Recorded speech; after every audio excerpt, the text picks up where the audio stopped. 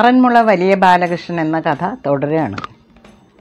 ഇപ്പോൾ പറയാൻ പോകുന്നത് വലിയ ബാലകൃഷ്ണൻ മാരാമൺ പള്ളിയിലെ മണി പറിച്ചെടുത്തു കൊണ്ടുവന്ന കഥയാണ്.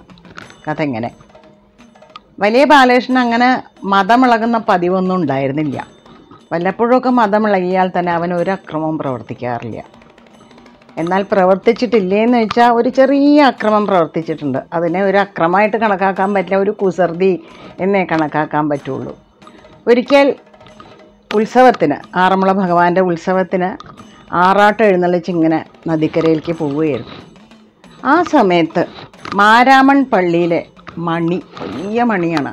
അതിങ്ങനെ നോം നോം എന്ന് ഭയങ്കര ശബ്ദത്തിൽ ഇങ്ങനെ അടിച്ചുകൊണ്ടിരിക്കുകയാണ്. അത് കേട്ടപ്പോൾ കരക്കാരായ ചില നായന്മാർ പറഞ്ഞു അയ്യോ ഇത് വളരെ ദുസ്സഹമായിരിക്കണമല്ലോ എന്ന് പറഞ്ഞു. വലിയ ബാലകൃഷ്ണനും അത് കുറച്ച് ദുസ്സഹമായി തോന്നി എന്നതാണ് സത്യം. പക്ഷെ ആ സമയത്ത് അവനൊന്നും ചെയ്തില്ല. അവൻ നേരെ പുഴക്കടവിലേക്ക് പോയി ആറാട്ടെല്ലാം ഭംഗിയായിട്ട് കഴിച്ച് തിരിച്ച് അമ്പലത്തിലെത്തി ഇറക്കി എഴുന്നള്ളിച്ചു. അത് കഴിഞ്ഞപ്പോൾ അവൻ വേഗം മതിൽക്ക് പുറത്തിറങ്ങി. നേരെ മാരാമൺ പള്ളിയിലേക്ക് അങ്ങോട്ട് പോയി. എന്നിട്ട് ആ വലിയ മണി അവിടുന്ന് യാതൊരു കേടുമില്ലാതെ പറിച്ചെടുത്ത് കൊണ്ടുവന്ന് ആറന്മുള ക്ഷേത്രത്തിന്റെ കിഴക്കേ നടക്കിൽ വെച്ചു. ഈ മണി ഇപ്പോഴും ആറന്മുള ക്ഷേത്രത്തിന്റെ കിഴക്കേ ഗോപുരത്തിന്റെ പടിഞ്ഞാറേ മുഖപ്പിന്റെ തെക്ക് ഭാഗത്തായിട്ട് തൂക്കിയിട്ടിട്ടുണ്ട്.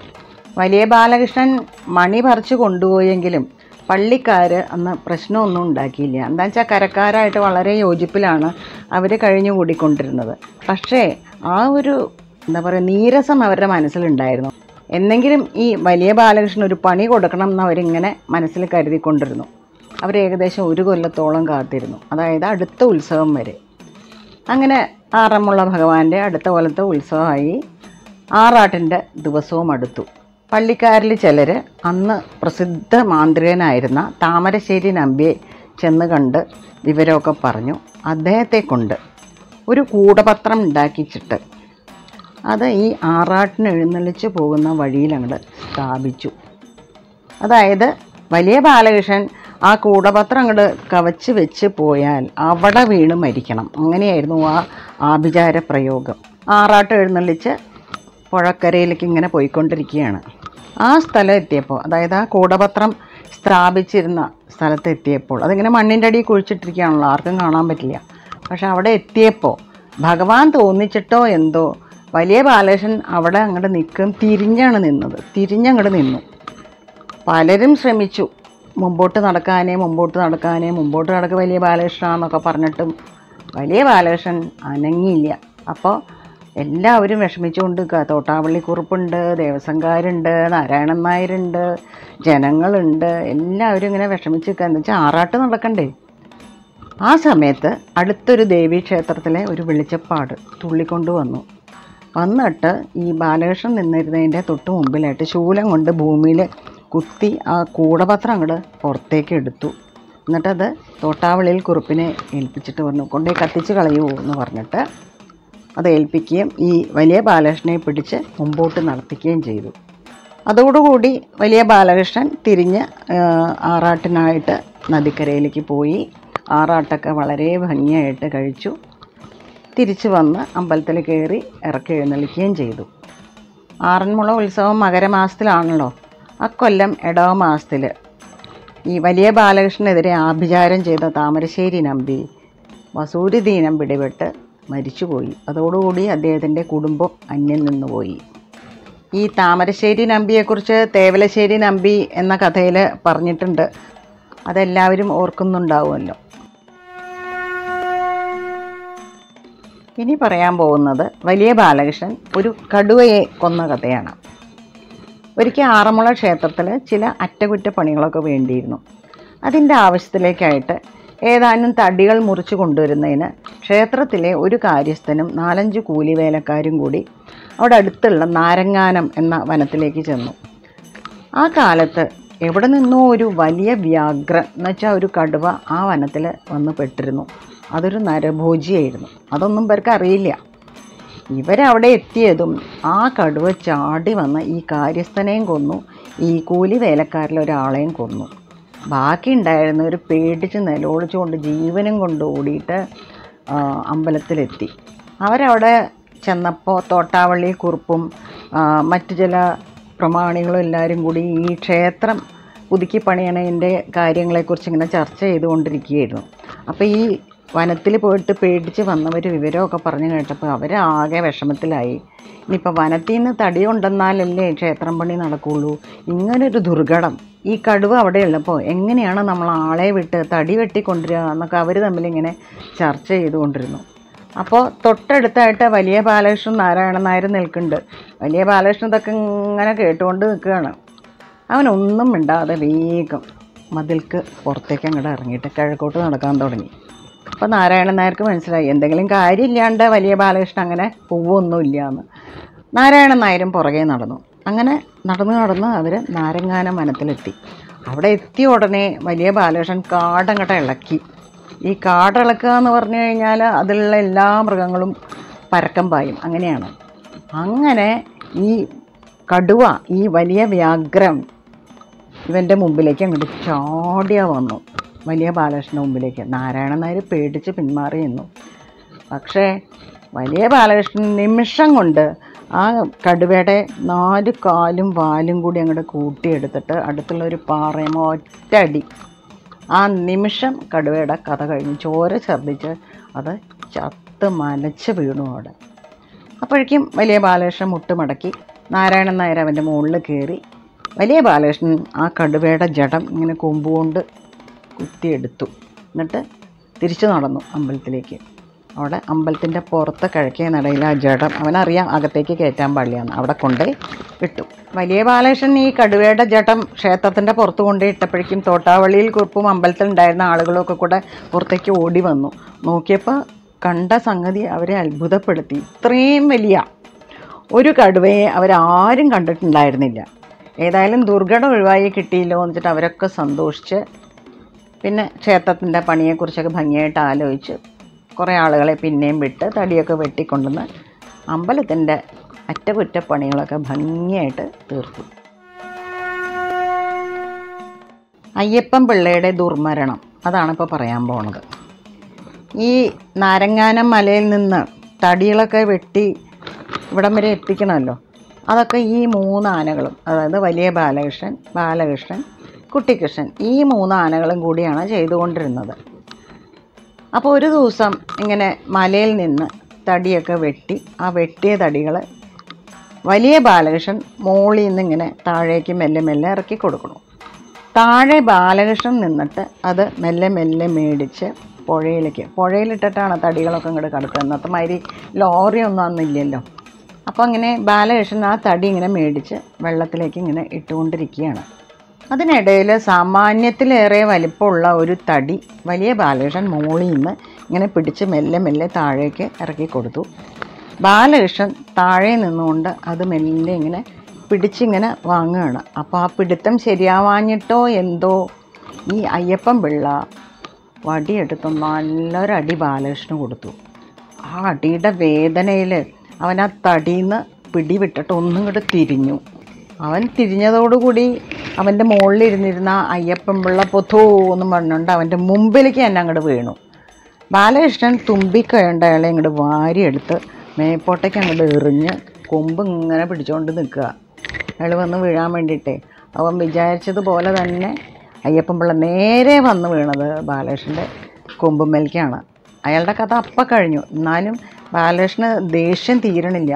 അവൻ ആ കൊമ്പൊന്ന് കുടഞ്ഞ അയാളുടെ ജഡം താഴേക്കിട്ട് പിന്നെയും ചവിട്ടി അരച്ച് തുമ്പിക്കൈകൊണ്ട് എടുത്ത് ആറ്റിലേക്ക് ഒറ്റ ഏറങ്ങട് എറിഞ്ഞു. അപ്പോൾ താഴെ നിന്നിരുന്ന കുട്ടിക്കൃഷ്ണനും അവന്റെ ആനക്കാരനും മറ്റനേകം ജോലിക്കാരും എല്ലാവരും അവിടെ ഉണ്ട്. അവരൊക്കെ ഇങ്ങനെ അന്താളിച്ച് നിൽക്കുകയാണ്. വലിയ ബാലകൃഷ്ണൻ മുകളിൽ നിൽക്കുന്നുണ്ട്. അപ്പോൾ അവൻ സാധാരണഗതിയിൽ അവന് ആരെയും കൊല്ലണത് അത്ര ഇഷ്ടമുള്ള കാര്യമല്ല. പക്ഷേ ആ ഒരു പ്രത്യേക സന്ദർഭത്തിൽ താൻ തടി വിട്ട് കൊടുത്തിട്ട് അവന്റെ കയ്യിലൊരു തടി ഉണ്ട് അത് ബാലകൃഷ്ണൻ പിടിച്ചിട്ടേ ഉണ്ടായിരുന്നുള്ളൂ. ശരിക്കും അവന്റെ കയ്യിൽ കിട്ടിയിരുന്നില്ല. അതെപ്പോഴും വലിയ ബാലകൃഷ്ണന്റെ തുമ്പിക്കൈയിൽ തന്നെയാണ് ഇരിക്കുന്നത് അതെങ്ങാനും താൻ വിട്ടിരുന്നെങ്കിൽ അത് ഉരുണ്ട് താഴെ വീണിട്ട് ഈ ബാക്കിയുള്ള മനുഷ്യന്മാർക്കൊക്കെ ആപത്തുണ്ടാവുമല്ലോ എന്ന് ചിന്തിച്ചതുകൊണ്ടായിരിക്കണം അവൻ ആ തടി വിടാഞ്ഞതും അയ്യപ്പൻ പിള്ളയെ രക്ഷിക്കാൻ ശ്രമിക്കാഞ്ഞതും എന്നാണ് എല്ലാവരും ഊഹിച്ചത്. എന്തായാലും അയ്യപ്പൻ പിള്ളയുടെ കഥ അവിടെ തീർന്നു. അയ്യപ്പൻ പിള്ളയ്ക്ക് ശേഷം ബാലകൃഷ്ണന്റെ ആനക്കാരനായിട്ട് നിയമിതനായത് അയാളുടെ അനുജനായ പത്മനാഭ പിള്ളയായിരുന്നു പത്മനാഭ പിള്ളയ്ക്ക് ബാലകൃഷ്ണനോട് കടുത്ത വൈരാണ്. കാരണം തന്റെ ജ്യേഷ്ഠനെ അവനാണല്ലോ കുത്തിക്കൊന്നത്. അപ്പോൾ ഇവന്റെ ചുമതല ഏറ്റെടുത്ത് കുറച്ച് നാളുകൾക്കകം അയാൾ ബാലകൃഷ്ണനെ വിഷം കൊടുത്തോ മറ്റേതോ ഒരു രീതിയിൽ കൊന്നു. അതൊരു ദുരൂഹ മരണമായിരുന്നു. എന്നിട്ട് വയറുവേദന കൊണ്ടാണ് ബാലകൃഷ്ണൻ ആന ചെരിഞ്ഞത് എന്നൊരു കഥയുണ്ടാക്കി അങ്ങോട്ട് പരത്തി. ഇനി വലിയ ബാലകൃഷ്ണന്റെ ചില ദുഃഖങ്ങളെക്കുറിച്ച് പറയാം. ബാലകൃഷ്ണൻ ആന ചെരിഞ്ഞു. അത് കഴിഞ്ഞ് കുറച്ച് നാൾ കഴിഞ്ഞപ്പോൾ നാരായണൻ നായർ പ്രായാധിക്യം കൊണ്ട് മരിച്ചുപോയി. അത് വലിയ ബാലകൃഷ്ണൻ വളരെ സങ്കടമായി തീർന്നു. ഒരു അച്ഛനോടുള്ള വാത്സല്യമായിരുന്നു ഈ ആനയ്ക്ക് തന്റെ ആനക്കാരനോട്. അപ്പോൾ നാരായണ നായർ മരിച്ചപ്പോൾ പകരം ഒരു ആനക്കാരൻ വേണമല്ലോ. അതിന് നിയമിതനായത് ഈ പത്മനാഭ പിള്ളയായിരുന്നു പക്ഷേ നാരായണൻ നായരുടെ അനന്തരവൻ ഒരു കൊച്ചുകൃഷ്ണൻ ഉണ്ടായിരുന്നു. അയാളെ ഈ പത്മനാഭ പിള്ളയുടെ അസിസ്റ്റന്റായിട്ടും നിയമിച്ചു. അങ്ങനെ ഈ രണ്ട് ആനക്കാരന്മാരുമാണ് വലിയ ബാലകൃഷ്ണന്റെ ചുമതലക്കാരായിട്ട് ഉണ്ടായിരുന്നത്. നാരായണൻ നായർ മരിച്ചു പോയതിലുള്ള ദുഃഖം അവൻ ഏറെക്കുറെ ഒന്ന് ആശ്വസിക്കാനൊരു വക കിട്ടിയത് ഈ കൊച്ചുകൃഷ്ണൻ മൂലമായിരുന്നു. കൊച്ചുകൃഷ്ണനോടും അവന് നാരായണൻ നായരോടുണ്ടായിരുന്ന അതേ സ്നേഹവും ആദരവും ഒക്കെ ഉണ്ടായിരുന്നു. എന്നാൽ ദുഃഖം വരുമ്പോൾ കൂട്ടത്തോടെ വരും എന്നല്ലേ പറയാറ്? അതുപോലെ തന്നെ നാരായണൻ നായർ മരിച്ച് കുറച്ചു കാലം കഴിഞ്ഞപ്പോൾ തോട്ടാവള്ളിയിൽ കുറുപ്പ് അന്തരിച്ചുപോയി. അവന്റെ എല്ലാ സങ്കടങ്ങൾക്കും പരിഹാരം ഉണ്ടാക്കിക്കൊണ്ടിരുന്നത് തോട്ടാവള്ളിയിൽ കുറുപ്പായിരുന്നല്ലോ. അപ്പോൾ നാരായണൻ നായരും പോയി ബാലകൃഷ്ണനാനയും പോയി തോട്ടാവള്ളിയിൽ കുറുപ്പും പോയി. ആകപ്പാടെ ബാലകൃഷ്ണൻ ദുഃഖത്തോട് ദുഃഖം തന്നെയായിരുന്നു. എങ്കിലും അവൻ ഒരുവിധം ഇതെല്ലാം എന്താ പറയുക അടക്കി പിടിച്ച് ഇങ്ങനെ ദിവസങ്ങൾ തള്ളി നീക്കുകയാണ് ഉണ്ടായത്. അതിനിടയിൽ ഒരിക്കൽ ചെറിയനാട് എന്ന സ്ഥലത്ത് ഒരു മൂത്തതിന്റെ ഇല്ലം പണിക്ക് തടി ആവശ്യമായിട്ട് വന്നു. അപ്പോൾ ഒരു വലിയ തടി നോക്കി വെച്ചിട്ടുണ്ട് ഈ മൂത്തത്. അത് കുറച്ച് ദൂരെയാണ് കിടക്കുന്നത്. അത് അവിടുന്ന് പിടിച്ച് ഈ ഇല്ലം പണി നടക്കുന്ന ദിക്കിൽ എത്തിക്കണം. അപ്പോൾ അയാൾ എന്ത് ചെയ്തു വെച്ചാൽ ഈ പത്മനാഭ പിള്ളയെ വിളിച്ച് പറഞ്ഞു വലിയ ബാലകൃഷ്ണനെ കൊണ്ടൊന്ന് ആ തടി എടുപ്പിച്ച് ഇവിടെ എത്തിച്ചു എന്ന്. പണം കിട്ടുന്ന കാര്യമാണല്ലോ എന്ന് വിചാരിച്ചിട്ട് പത്മനാഭ പിള്ള വലിയ ബാലകൃഷ്ണനെ കൊണ്ട് ആ സ്ഥലത്തേക്ക് ചെന്നു. കൂടെ കൊച്ചുകൃഷ്ണനും ഉണ്ട്. അങ്ങനെ വലിയ ബാലകൃഷ്ണൻ ആ തടി ഇങ്ങനെ കുറച്ച് ബുദ്ധിമുട്ടിയാണെങ്കിലും പിടിച്ചു കൊണ്ടുവന്നിട്ട് ഈ ഇല്ലം പണി നടക്കുന്ന സ്ഥലത്ത് ഇട്ട് കൊടുത്തു. കാര്യം നടന്നപ്പോൾ മൂത്തതിന് വളരെ സന്തോഷമായി. അദ്ദേഹം ഈ പത്മനാഭ പിള്ളയ്ക്ക് പത്ത് പണവും ഒരു മുണ്ടും നേരിയതും കൊടുത്തു. കൊച്ചുകൃഷ്ണ യാതൊന്നും കൊടുത്തുമില്ല. അത് കൊച്ചുകൃഷ്ണ വലിയ സങ്കടമായി. അപ്പം അയാൾ ആ ഇല്ലത്തിന്റെ ആ കോമ്പൗണ്ടിൽ നിന്ന് ഇങ്ങനെ പുറത്തിറങ്ങിയപ്പോൾ വലിയ ബാലകൃഷ്ണനോടായിട്ട് പറഞ്ഞു വലിയ ബാലകൃഷ്ണ ഞാൻ ഇത്രയും കാലം നിന്നെയും കൊണ്ട് പല പണിക്കും നടന്നിട്ടും ആരും എന്നെ ഇങ്ങനെ പൂജ്യമാക്കി വിട്ടിട്ടില്ല. ഇന്നിപ്പോൾ പത്മനാഭൻ ചേട്ടന്റെ ഒപ്പം ഞാനും പണിയെടുത്തതാണ് എന്നിട്ട് കണ്ടില്ലേ ആ മൂത്തത് ചെയ്ത കാര്യം? പണവും മുണ്ടും ഒക്കെ പത്മനാഭൻ ചേട്ടന് മാത്രം കൊടുത്തു. എനിക്ക് യാതൊന്നും തന്നുമില്ല. ആ എല്ലാം ഈശ്വരൻ അറിയുന്നുണ്ടല്ലോ. അത് മതി എന്ന് പറഞ്ഞു. അത് കേട്ടപ്പോൾ വലിയ ബാലകൃഷ്ണൻ വേഗം തിരിച്ചങ്ങോട്ട് നടന്നു. എന്നിട്ട് ആ തടി ഉണ്ടല്ലോ ഇട്ടിരുന്ന സ്ഥലത്ത് നിന്ന് എടുത്ത് അത് അവൻ എവിടുന്നാണോ എടുത്തു കൊണ്ടുവന്നതെന്ന് വെച്ചാൽ അവിടെ അങ്ങോട്ട് കൊണ്ടുപോയി ഇട്ടു അത് അറിഞ്ഞപ്പോൾ മൂത്തതിന് വലിയ വിഷമായി. ഉടനെ മൂത്തത് ഈ പത്മനാഭ പിള്ളോട് പറഞ്ഞത് എന്താ ഇത് വലിയ ബാലകൃഷ്ണൻ ഇങ്ങനെ ചെയ്തത്? അതൊന്ന് തിരിച്ചു കൊണ്ടുതരാൻ പറയൂ എന്ന് പറഞ്ഞു. പത്മനാഭ പിള്ള വലിയ ബാലകൃഷ്ണനോട് പറഞ്ഞു വലിയ ബാലകൃഷ്ണ ആ തടി തിരിച്ചു കൊണ്ടുപോയിട്ട് കൊടുക്കണം എന്ന് പറഞ്ഞു. പക്ഷെ അവൻ കൂട്ടാക്കിയില്ല. അയാൾ പലതവണ പറഞ്ഞിട്ടും വലിയ ബാലകൃഷ്ണൻ ആ തടി തിരിച്ചു കൊണ്ടുവന്ന് കൊടുക്കാൻ കൂട്ടാക്കിയേ ഇല്ല. അതോടുകൂടി ഈ പത്മനാഭപിള്ളയുടെ മനസ്സിൽ വലിയ ബാലകൃഷ്ണനോട് വൈരമായി തീർന്നു. പക്ഷെ ആ സമയത്ത് ഈ പത്മനാഭപിള്ള വലിയ ബാലകൃഷ്ണനെ ഉപദ്രവിക്കാനോ തല്ലാനോ ഒന്നിനും പുറപ്പെട്ടില്ല.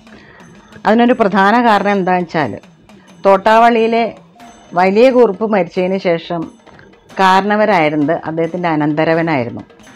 ആ അനന്തരവൻ കുറുപ്പ് കഠിന ഹൃദയനും നിർദാക്ഷിണ്യം ശിക്ഷിക്കുന്ന ആളുമായിരുന്നു. മാത്രമല്ല ആ കുറിപ്പിന് വലിയ ബാലകൃഷ്ണനോട് വലിയ സ്നേഹം ഉണ്ടായിരുന്നു. അതുകൊണ്ട് തൽക്കാലം ഒന്നും വേണ്ടാന്ന് വിചാരിച്ച് ഇങ്ങനെ ഒരു അവസരത്തിനായിട്ട് ഈ പത്മനാഭപിള്ള ഇങ്ങനെ കാത്തു കാത്തിരുന്നു. ഇപ്പം പറയാൻ പോകുന്നത് കൈപ്പുഴക്കയം എന്ന സ്ഥലത്തെക്കുറിച്ചാണ്. ആറന്മുളയ്ക്ക് സമീപം ആറ്റിൽ അത്യഗാധമായിട്ടുള്ള ഒരു സ്ഥലമുണ്ട്. കൈപ്പുഴ കയം എന്ന പേരിലാണ് അത് അറിയപ്പെട്ടിരുന്നത്. ഒരിക്കൽ ഒരാൾ പത്മനാഭപള്ളിയുടെ അടുത്ത് വന്ന് പറഞ്ഞു ആ കയത്തിനടുത്തായി മലയിൽ രണ്ട് തടിയുണ്ട്. അതൊന്ന് കയത്തിന്റെ അടുത്ത് വരെ എത്തിച്ചു കൊടുക്കണമെന്ന്. അപ്പോൾ പണം കിട്ടുന്ന കാര്യമാണല്ലോ. പത്മനാഭപിള്ള വലിയ ബാലകൃഷ്ണയും കൊണ്ട് കയത്തിന്റെ അടുത്തുള്ള മലയിലേക്ക് ചെന്നു. നോക്കിയപ്പോൾ രണ്ട് തടി അവിടെ ഉണ്ട് ആദ്യത്തെ തടി വലിയ ബാലകൃഷ്ണൻ വളരെ ബുദ്ധിമുട്ടി. അത്രയും വലിയ തടിയാണ്. ബുദ്ധിമുട്ടി വലിച്ചു കൊണ്ടുവന്നിട്ട് കയത്തിന്റെ അടുത്ത് ഇട്ടു. ഇനി രണ്ടാമത്തെ തടി എടുക്കാൻ വേണ്ടിയിട്ട് വീണ്ടും മലയിലേക്ക് ചെന്നു. അതിങ്ങനെ അവൻ തുമ്പിക്കയുണ്ട് എടുക്കണ സമയത്ത് ഈ പത്മനാഭപിള്ള എന്ത് ചെയ്തു വെച്ചാൽ ആ തടിയിൽ ഒരു തുളയുണ്ടായിരുന്നു. ആ തുളയും ഈ ഇവന്റെ വലിയ ബാലകൃഷ്ണന്റെ കാലിലത്തെ ചങ്ങല അങ്ങോട്ട് കൂട്ടി അങ്ങോട്ട് കൊളുത്തി. അപ്പോൾ കുറച്ച് ബുദ്ധിമുട്ടാണ് അവന്. അവൻ അപ്പം തന്നെ വലിയ ബാലകൃഷ്ണൻ മനസ്സിലായി ഇത് അപകടമാണ്. അപകടമാണ് പക്ഷെ അവന് സംസാരിക്കാൻ പറ്റില്ലല്ലോ. അതുകൊണ്ട് അവൻ വിചാരിച്ചു ഏറ്റെടുത്ത ജോലി അങ്ങോട്ട് നടത്താം എന്നും പറഞ്ഞുകൊണ്ട് അവനത് വലിച്ചഴച്ച് ഒരുവിധം താഴെ എത്തിച്ചു. കയത്തിന്റെ അടുത്ത് എത്തിയപ്പോഴേക്കും ഈ ദുഷ്ടൻ പത്മനാഭപിള്ള എന്ത് ചെയ്തു വെച്ചാൽ കയ്യിൽ കോലുണ്ടല്ലോ അതുകൊണ്ട് അവന്റെ മർമ്മം നോക്കി ഒരു അടി അങ്ങോട്ട് കൊടുത്തു. വേദന കൊണ്ട് പൊളഞ്ഞിട്ട് അവൻ തടിയോടുകൂടി ആ കയത്തിലേക്ക് അങ്ങോട്ട് ചാടി. അവന് കയറ്റി നിന്ന് കയറി വരാൻ പറ്റുന്നില്ല. കാര്യം ഈ തടി അവന്റെ ചങ്ങലയിൽ വെച്ച് കൊളുത്തിയിരിക്കുകയല്ലേ? അത് വിടിയിക്കാൻ പറ്റണ്ടേ? വിടിയിക്കാൻ വിടിയിച്ചാൽ എങ്ങനെയെങ്കിലുമൊക്കെ കയറ്റി നിന്ന് അവൻ കയറി വന്നേനെ. പക്ഷേ അവൻ ശ്രമിച്ചിട്ടും അതൊന്നും സാധിച്ചില്ല. അവൻ ഇങ്ങനെ ആ കയത്തിൽ ഇങ്ങനെ അകപ്പെട്ടങ്ങനെ കിടക്കുകയാണ്. അവന് സാമാന്യത്തിലേറെ പൊക്കമുള്ള ആനയായിരുന്നു. എന്നിട്ട് പോലും അവന്റെ തുമ്പിക്കൈ മാത്രമേ ആ വെള്ളത്തിന്റെ മുകളിൽ ഇങ്ങനെ കാണുന്നുള്ളൂ. അതും ശ്വാസം മുട്ടാതിരിക്കാൻ വേണ്ടിയിട്ട് അവൻ അങ്ങനെ പൊക്കി പിടിച്ചേക്കുകയാണ്. വലിയ ബാലകൃഷ്ണന്റെ ഈ കഷ്ടസ്ഥിതി കണ്ടുകൊണ്ട് രസിച്ചിങ്ങനെ കരക്കി നിൽക്കുകയാണ് പത്മനാഭപിള്ള. നന്നായി അവൻ അങ്ങനെ തന്നെ വേണം എന്നുള്ള മട്ടിൽ അപ്പോൾ മലയുടെ മുകളിൽ നിന്ന് ഒരു കാട്ടുപോത്ത് അങ്ങോട്ട് ചാടി വന്നു. ആ പോത്ത് പത്മനാഭപിള്ളയെ വെട്ടി നാലഞ്ച് തുണ്ടാക്കി അങ്ങനെ തന്നെ ഈ ആറ്റിലേക്ക് വലിച്ചെറിഞ്ഞിട്ട് വന്ന വഴിയെ പോയി. അപ്പോൾ വലിയ ബാലകൃഷ്ണനെ കൊന്നിട്ട് തനിക്ക് സുഖമായിട്ടിരിക്കാം എന്നായിരുന്നല്ലോ പത്മനാഭപിള്ളയുടെ വിചാരം. അത് നടന്നില്ല. അന്യന്മാരെ ദുഃഖിപ്പിച്ചിട്ട് തങ്ങൾ സുഖിക്കണമെന്ന് വിചാരിക്കുന്നവർക്കൊക്കെ ഈ ഗതി തന്നെ ആയിരിക്കും എന്നുള്ളത് പാഠം എല്ലാവരും പഠിക്കട്ടെ എന്ന് വെച്ചിട്ടാണോ ഭഗവാൻ അങ്ങനെ ഈ പോത്തിനെ കൊണ്ട് ചെയ്യിച്ചത് എന്നറിയില്ല. ഇത് രാവിലെ ഏകദേശം ഒരു പത്ത് മണിക്കാണ് ഉണ്ടായത്. കുറച്ച് നേരം കഴിഞ്ഞപ്പോൾ തോട്ടാവള്ളിയിൽ വീട്ടിൽ കുറുപ്പ് ഉണ്ണാനിരുന്നു. ചോറിൽ തലമുടി കണ്ടതുകൊണ്ട് അദ്ദേഹം ഉണ്ടില്ല.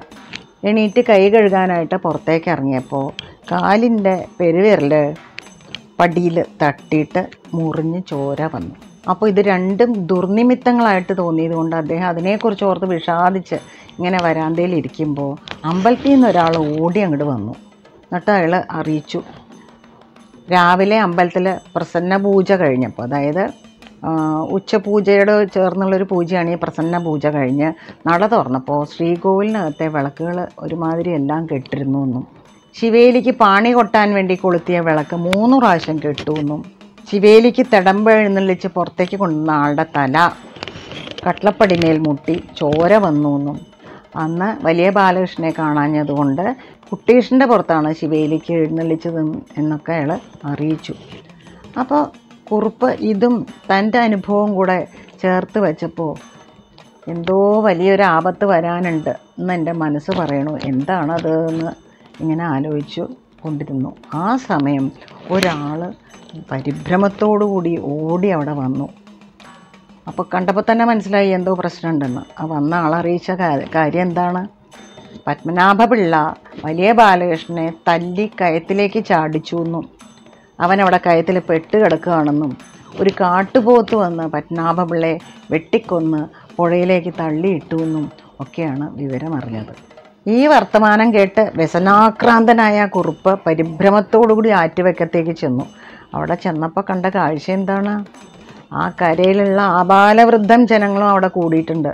അവരെല്ലാവരും കയത്തിന്റെ നേർക്ക് ഇങ്ങനെ നോക്കി കരഞ്ഞുകൊണ്ടിരിക്കുകയാണ് എന്താ കാര്യം എന്ന് വെച്ചാൽ വലിയ ബാലകൃഷ്ണന്റെ തുമ്പിക്കൈ മാത്രമേ വെള്ളത്തിന് പുറത്തേക്ക് കാണുന്നുള്ളൂ. തൊട്ടപ്പുറത്ത് അവിടെ കരക്കിരുന്ന് കൊച്ചുകൃഷ്ണൻ പൊട്ടിക്കരഞ്ഞുകൊണ്ടിരിക്കുകയാണ് നാരായണൻ നായരുടെ അനന്തരവൻ.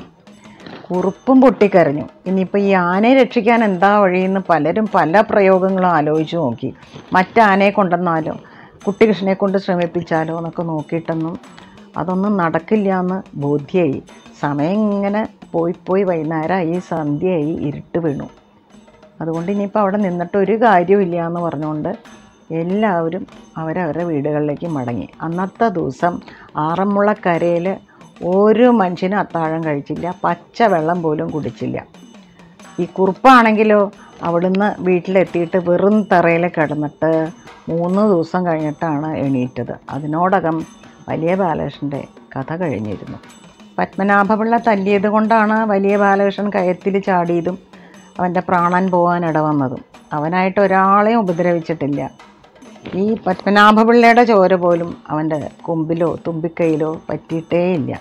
അങ്ങനെ വളരെ സാത്വികമായിട്ടുള്ള ഒരു ജന്മം നയിച്ചതിന് ശേഷമാണ് വലിയ ബാലകൃഷ്ണൻ എന്ന ആന ചെരിഞ്ഞത്. കുട്ടിക്കൃഷ്ണൻ ആനയെക്കുറിച്ചുകൂടി ഒന്ന് രണ്ട് വാചകം പറയാതെ ഈ കഥ പൂർണമാക്കാൻ പറ്റില്ല. അവനും ഇടയ്ക്ക് നീര് വന്ന് പൊട്ടുമ്പോൾ ചില ഭ്രാന്തൊക്കെ ഇളകുമായിരുന്നു. പക്ഷെ അവൻ ആരെയും ഉപദ്രവിക്കില്ല. ഇങ്ങനെ അമ്പലത്തിലൊക്കെ ഓടി നടക്കും. അല്ലെങ്കിൽ തല ഇങ്ങനെ ആനകൾ ഇളക്കണം നമ്മൾ കണ്ടിട്ടില്ലേ? അങ്ങനെ ചെയ്യും. അത്രയൊക്കെ ഉള്ളൂ. ഒരുതരം കളിഭ്രാന്ത് എന്ന് വേണമെങ്കിൽ പറയാം. ആ നീരങ്ങടെ ഒലിച്ചു പോയി കഴിഞ്ഞാൽ അത് തീരും. പക്ഷേ ചെറുപ്പക്കാരും കുട്ടികളും ഒക്കെ ഇവനെ കളിപ്പിക്കാൻ വേണ്ടിയിട്ട് കുറച്ച് പായസമോ പഴമോ ശർക്കരയോ ഒക്കെ കൊടുത്തിട്ട് പറയും കുട്ടീഷ്ണ നിന്റെ ഭ്രാന്തൊന്ന് കാണട്ടെ എന്ന്. അത് കേൾക്കുമ്പോഴേക്കും അവൻ ഇങ്ങനെ തലയൊക്കെ ഇളക്കി ചില ഭ്രാന്തൊക്കെ കാണിക്കും. ഇവരവനീ ഇതൊക്കെ കൊടുക്കുകയും ചെയ്യും. അങ്ങനെയായിരുന്നു അവന്റെ രീതികൾ. എന്നാൽ വലിയ ബാലകൃഷ്ണൻ ബാലകൃഷ്ണൻ മരിച്ചു പോയതോടുകൂടി അവന്റെ ഈ കളിഭ്രാന്തൊക്കെ നിന്നു. അവന് വളരെ ഉത്സാഹശൂന്യനായിട്ടാണ് പിന്നീട് ജീവിച്ചത്. അവൻ പിന്നെ ഒരു അഞ്ചാറ് കൊല്ലം കഴിഞ്ഞിട്ടാണ് ചെരിഞ്ഞതും. ബാലകൃഷ്ണനും ആകെ കൊന്നിരിക്കണത് ഈ അയ്യപ്പൻ പിള്ളയെ മാത്രമാണ്. അതിന് തക്കതായ കാരണം ഉണ്ടായിരുന്നു. എന്തു തന്നെ ആയാലും ആറന്മുള ദേവസ്വത്തിലെ ഈ മൂന്ന് ആനകളും അതായത് വലിയ ബാലകൃഷ്ണൻ ബാലകൃഷ്ണൻ കുട്ടിക്കൃഷ്ണൻ ഈ മൂന്ന് ആനകൾക്കിടയിൽ ഉണ്ടായിരുന്ന ഒരു സൗഹൃദം അക്കാലത്തെ പല ആനപ്രേമികളുടെ ഇടയിൽ ചർച്ചാ വിഷയമായിരുന്നു. പ്രത്യേകിച്ചും വലിയ ബാലകൃഷ്ണനെക്കുറിച്ച് എല്ലാവരും വളരെ മതിപ്പോടെ പറഞ്ഞുകൊണ്ടിരുന്നുള്ളൂ. അവന് തക്കതായിട്ടുള്ള ഒരു ആന അക്കാലത്ത് ഉണ്ടായിരുന്നെങ്കിൽ അത് കോന്നിയിൽ കൊച്ചയ്യപ്പൻ മാത്രമായിരുന്നു എന്ന് പറഞ്ഞുകൊണ്ടാണ് കൊട്ടാരത്തിൽ ശങ്കുണ്ണി അവർ ഈ കഥയ്ക്ക് പൂർണവിരാമം ഇടുന്നത് നന്ദി നമസ്കാരം.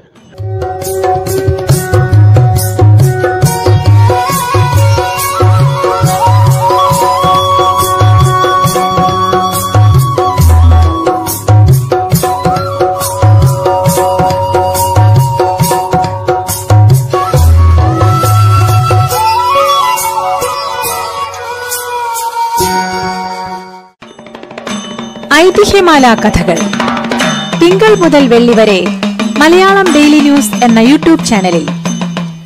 ഐതിഹ്യമാല കഥകൾ കൂടാതെ മലയാളത്തിലെ പ്രശസ്തരായ എഴുത്തുകാരുടെ കഥകൾ ഉൾപ്പെടുത്തിയ വായനാലോകം ഭാഗവതത്തിലെ സമ്പൂർണ കഥകൾ മോട്ടിവേഷണൽ കഥകളുമായി ശുഭദിനവും ശുഭരാത്രിയും പ്രതിദിന വാർത്തകൾ എന്നിവ സ്ഥിരമായി ലഭിക്കാൻ മലയാളം ഡെയിലി ന്യൂസ് എന്ന യൂട്യൂബ് ചാനൽ സബ്സ്ക്രൈബ് ചെയ്യുക. നോട്ടിഫിക്കേഷനായി ബെല്ലൈക്കൺ അമർത്തുക. Daily news. വിരൽ തുമ്പിൽ വിരിയുന്ന വിസ്മയം.